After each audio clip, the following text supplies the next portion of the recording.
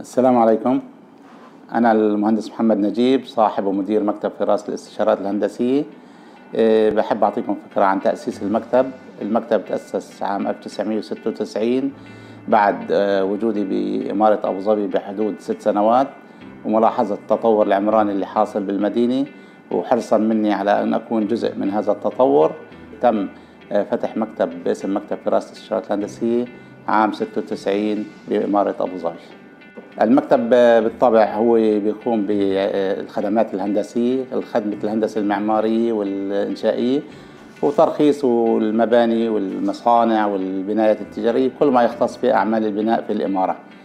خدماتنا بنقدمها بشكل كامل تبدأ من استلامنا للمشروع عن طريق المالك بتقدم لنا site plan ملكية للأرض وبرنامج للمشروع. من خلال هذا البرنامج بنقوم بعمل مخططات أولية برزنتيشن بنقدمه للمالك بننال الموافقة عليه وبعدها مباشرة بتم العمل على إنهاء المخططات الهندسية بالكامل. إصدار التراخيص اللازمة من آه، بلدية أبو ظبي ومن كل الجهات المتعلقة بذلك. عمل المناقصة اللازمة للمشروع وترسيت المشروع على المقاول المناسب وبالسعر المناسب.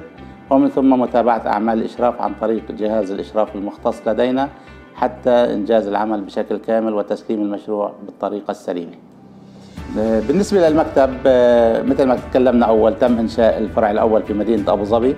نتيجة تطور المكتب ووجود عدد من العملاء المتزايد بشكل دائم بوجودنا بالمكتب ومن أماكن من إمارة أبو ظبي المختلفة وتشجيعا وتحسينا وتسخينا لخدمة العملاء بشكل أفضل. فتح عدة فروع صار عندنا أربع فروع في إمارة أبو ظبي فرع في مدينة الغربية فرع في مدينة العين وفرع بانياس وفرع أبو ظبي الرئيسي. جميع الفروع تعمل تحت مظلة واحدة وبالطريقة نفسها وكلها لخدمة العملاء بشكل مميز.